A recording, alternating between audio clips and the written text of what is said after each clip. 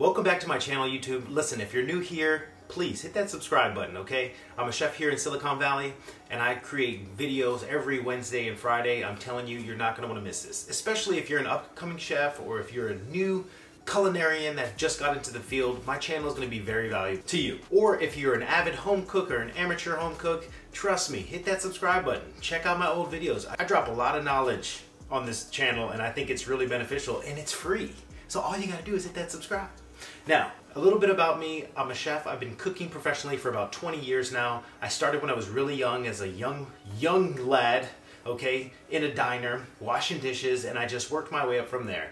I graduated culinary school with a dual associates in culinary and baking and pastry. I've had the luxury of working all across the United States from New York to DC to Chicago to Los Angeles, Las Vegas, San Francisco, you name it. I've worked with some of the best chefs, and I'm telling you right now, I am giving you knowledge. Now, all that aside, okay, it's just important because I have a lot of new subscribers that I want to make sure that they know who I am. So, if you're one of my OG followers, thank you. I appreciate you, and trust me, the channel's going to get a lot better. All right, but in the meantime, one of the biggest questions that I get as a chef is, what type of knife should I get? What type of knife should I buy? And um, you know it's a common question, and I completely understand the intimidation of it, right? Um, you know, there's so many different styles, there's so many different uh, cuisines, there's so many different types of knives, different steels, different handles. It can be kind of overwhelming. And so I'm going to do the best I can within a nutshell to try to give you my best advice on purchasing a new knife. All right. So jumping right in, I think what's really important is to take in consideration there was a time in my career where knives were so important to me. More important than anything else I could ever imagine. Now, this was when I was a cook. I was a line cook. And trust me, I used to spend my days off sharpening my knife. I used to save up my money and purchase the most expensive knives. And I used to baby them. I didn't let anybody touch them. I did a lot of research. I did, I, you know, I, I babied the hell out of them. I was really into it. I was, you, I was what you could call a knife geek. And let's just say times have changed. So as I've grown throughout my career, um, especially with being at an executive level or a management level, you know, priorities kind of shift and change. Although I still love knives, I'm just not a knife geek anymore. And I think that's really important to state because the way I'm going to explain to you is like I'm explaining to my five-year-old kid. I think it's really important so you can digest it. I'm not going to get into the, the deep niches of terms and methodologies and stuff like that. So just take that in consideration if you're watching this video and you're already a professionally trained chef or you're a knife geek. Trust me, this video is probably not for you. And I don't mean to offend you, but I am literally going to put it in layman's terms because that's what regular people need. And you know, I'm not going to get into all the different types of steels and all that. Okay, without rambling too much, first things first.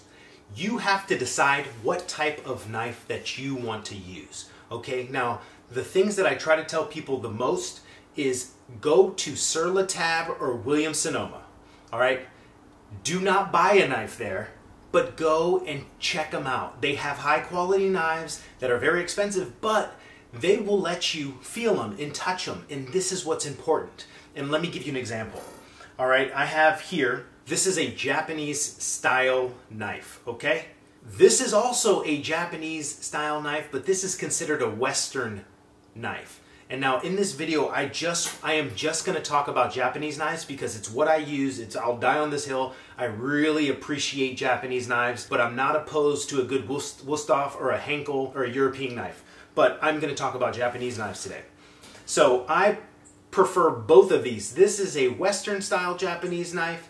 This is a regular Japanese style knife. Okay, so there's a difference. This one has a handle that the tang, the tang is the actual extension of the blade that goes right about here. Okay, it's called a hidden tang. This knife has a tang that goes all the way down to the back of the handle. All right, making this knife a little bit more useful for me in the kitchen. So when you think of Japanese knife, you think delicate, finesse, super fine dining, nice ni nice chopping, no like banging on the cutting board or cutting through bones. All right, but I think what's really important is to figure out which handle feels comfortable in your hand. That's why I say go to Williams Sonoma, go to Sur La Table. They will let you hold the knife all right, and feel it. Okay, so we got that aside. Now, whether you decide to choose French or German, that's completely up to you, and that's the reason why I'm making this video. There's two types of handles that are the most common, and I'm going to try to get the close-up on here. Um, so let's just say we have A and B, all right? These are the two most common types of handles. If you're going to go with the Wusthof, this would be the handle, but it, it's obviously a little bit more thicker, I would say. But I think what's really important is for me, if I, I have both of these style of knives, this one right here with the oval handle, I'm not going to tell you the technical term, but the oval handle is way more comfortable in my hand. And also this knife is nice and light, but this knife is pricey. So what I suggest is hold the knife in your hand, whatever knife it is, and feel it, right? You want to feel it and make sure that it's comfortable in your hand and that it's well balanced. Okay, that aside. Next, if you've never bought a knife before, if you've never sharpened a knife before, what I recommend, in this I will go to the grave on this, go to Target, go to Walmart, go to Kmart, go to the Asian store, Safeway, Publix, HEB, wherever you're at. Buy a knife there, okay? It's gonna be soft steel, and then you want to practice sharpening it. Now, if you're gonna start in a professional kitchen, then I would highly suggest with starting with a Mercer or a Victorinox. Okay, these knives are readily available. I'll leave links down in the description, right? These knives are very inexpensive, but they're not a long-term knife. Okay, this is a knife that you use for six months to a year. You can hold on to it for a long time, but we call this in the industry, we call these knives bangers, right? These are the like um, readily available uh, restaurant knives that the restaurant would probably provide. They're really easy to sharpen and really easy to maintain. And they're NSF, which means uh, they're, they don't uh, harbor any bacteria. Highly recommend. Do not go out and blow your money, your bankroll on an expensive knife if you do not know how to sharpen. I think this is very important, okay? So I'm gonna talk about the way I like to sharpen. I'm not really a fan of uh, electric sharpeners or diamond steels. What I'm a fan of is the Japanese whetstone. Okay, now here's the thing it's super subjective, right? Because I would, as a chef, I would much rather you have a sharp knife all the time than be intimidated by the Japanese whetstone and not want to sharpen at all, then you use your honing steel and blah, blah, blah. So I think what's really important is to find your preferred method of sharpening that's going to be consistent out throughout your whole career or your whole life, okay? Whatever that is. Now, for me, it's Japanese whetstones. And I'll be honest with you, back in the day, I had natural uh, Japanese stones, one broke, and then that was it for me. So what I focus on now is, um, you know, the whole set, right? So I have a few sets. I have a set at work, and I have a set at home, and I keep them separated. And just to show you, um, and this is not sponsored at all, it's just uh, what I use personally. Um, I have these two double-sided stones, okay? So um, I think what's really important is, and we'll talk about the beginner here, is you can get stone off Amazon for less than $20 and you can start sharpening right away. Now I think that is more valuable to buy a sharpening stone and a very cheap knife to learn how to sharpen but you're still able to do your job. The knives I personally use, I don't, I'm not going to sit here and say this is sponsored or um, you know that I recommend getting these you know, the thing is, is I'm a chef and I've come across a lot of knives over the years. And for my home use, I use Miyabi. Okay, my favorite home use knife, my go-getter, is this Miyabi. Sorry, Miyabi Birchwood. This is the 10-inch chef knife. The knife is very well balanced and very well built. Okay, um, I love this fact about the oval handle, like I said before, this is super comfortable for me in my hand. I feel like it's really easy to sharpen. The knife is or built very well. And that's the benefit you have with some of these commercial knives. They're just built to last. Um, I use the Birchwoods at my house, but I also have the classics. So uh, the these classic knives are also a really good choice. I bought these on a whim, only thinking they were going to last a year, and I've had them for over seven years, okay? It's been since 2013 when they first came out. Now, for work, I use a different type of knife, okay? For work, I use Misono, and the reason why I use Misono is because it's a, it's, it's a hard steel, and um, I you prefer the UX10, the stainless, but I also have this carbon steel knife and I want to talk about it real quick because you have to make a decision whether you want to use carbon steel or stainless steel. And I will tell you one thing, carbon steel is my preferred blade for work, but it takes a lot of maintenance. So I went from having, you know, five to 10 carbon blades to now three. So I have literally three knives that are, that are carbon. And, um, you know, the thing, here's another one. This is a Yanagi. And, um, you know, they're all soldiers. But the thing is, is that you have to maintain them. They get patinaed.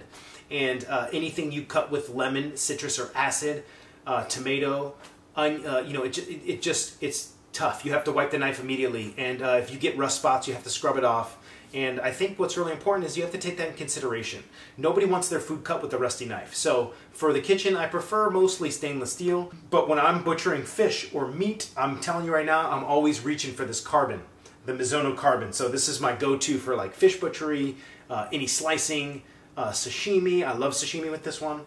And uh, that's pretty much it. So I also want to talk about these, uh, the Japanese style knives, which um, you know, I totally forgot. I totally forgot what knife maker this is, but I really like this knife. But I'll be honest, this is another um, carbon steel knife, and honestly, the thing is, is you, you just it's not meant. It's meant for delicate food. Delicate. Think about that all the time. So um, when it comes to the difference between Japanese and Western style Japanese knives, I always shoot for Western. That's just my personal preference.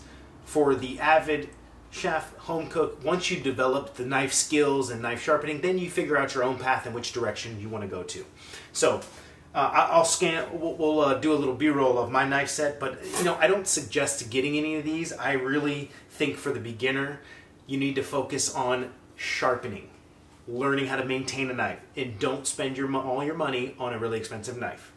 Okay, so if you made it this far, thanks for watching. I'm going to leave the description box full of the links and all the information that you need to know if you're first time buying a knife or if especially with the sharpening stone. So just remember, if you take one thing away from this video, knives are so subjective. It depends on the user, it depends on your environment. There's a lot of things that you have to take in consideration. So depending on your situation, my overall suggestion is to buy a cheaper knife, right? And then learn how to sharpen it first before you upgrade. Because using that cheaper knife, you're going to figure out which handle you like, right? So the cheaper knives, Target, uh, Target, Walmart, Farberware, right? Get a cheap banger and literally learn how to sharpen it. So buy the stones. I'm going to leave the set of stones here, I'll leave the set of stones that I personally use. It's really cheap for 40 bucks. You get the whole set, two double-sided stones, a strop block, a holder, a rubber mat. Like, I mean, you get everything, and it's worth it. Um, cool. Thanks for watching.